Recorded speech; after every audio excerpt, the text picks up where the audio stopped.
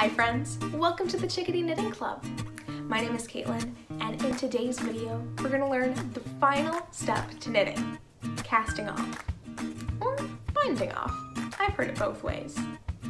In the same way that casting on is getting the yarn onto your needles, casting off is getting the yarn off of your needles.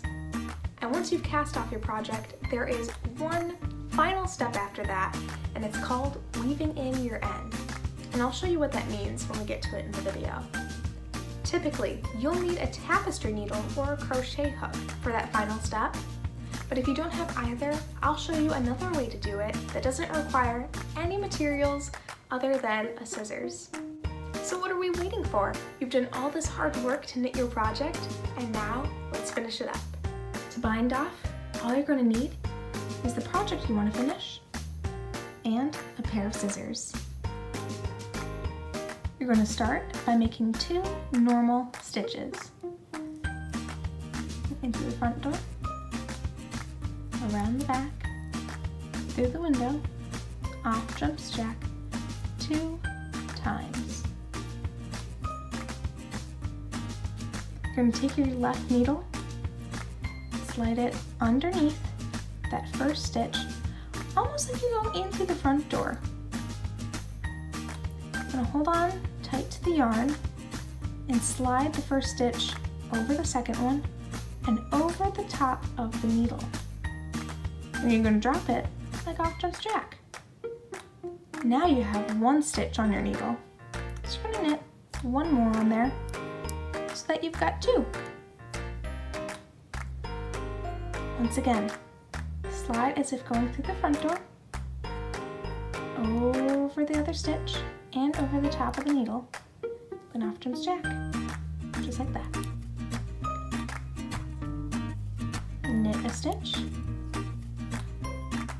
slide the first one over the second one. You can already start to see the edge of your project.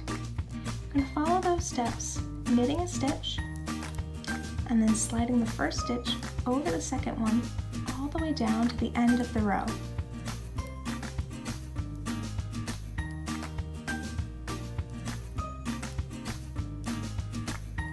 And you're going to do the exact same to that last stitch. Now, you've only got one stitch left on the needle. I'm going to hang on to that now's the time to grab your scissors. And I want to make sure you have a pretty decent tail at the end of your project. Holding on to that point, and snip it off right there. Next, you're going to carefully slide the needle out from under the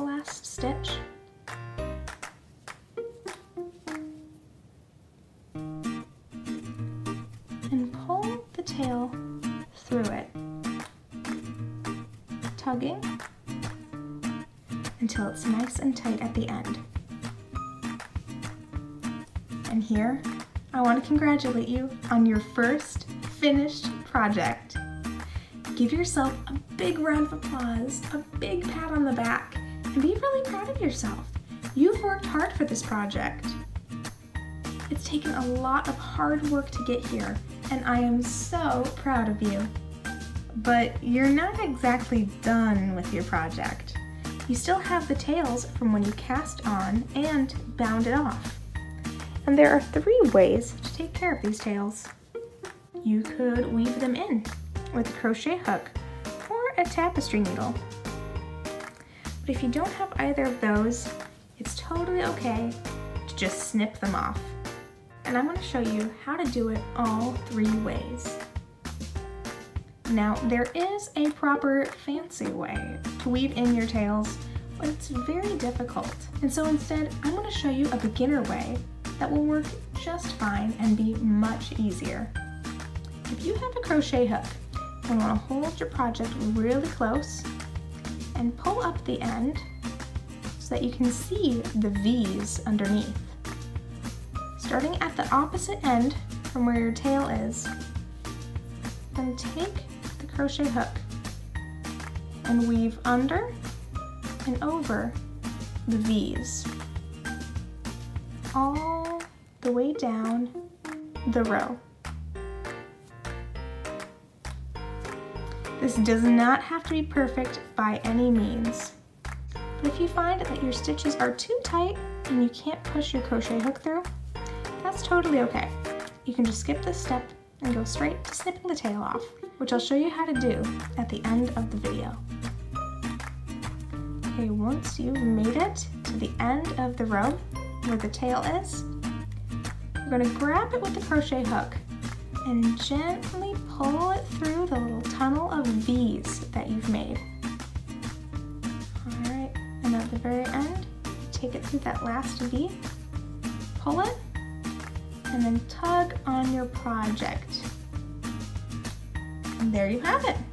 You can't even see it. But if your tail was longer than your project, you can just take your scissors and snip it off at the very end. This is how I weave in the end with a tapestry needle. You're going to take the tail and thread it onto the tapestry needle. It's a little tricky, so what I like to do is fold the yarn in half and push it through.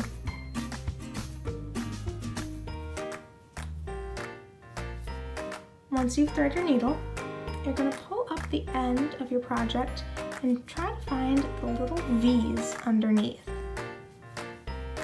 and take your needle and go under and over the V's, weaving the tail through the back of your stitches.